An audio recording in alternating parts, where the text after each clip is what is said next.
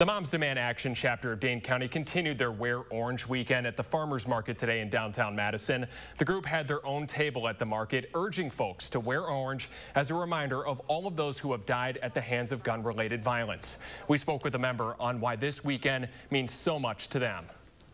A lot of people are ready to do something. We're ready to see change, and I feel like we have a lot of momentum right now.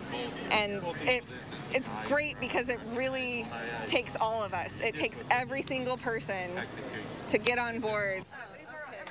This tribute began in Chicago eight years ago in honor of a teenage girl who was shot and killed while she was just at the playground in 2013.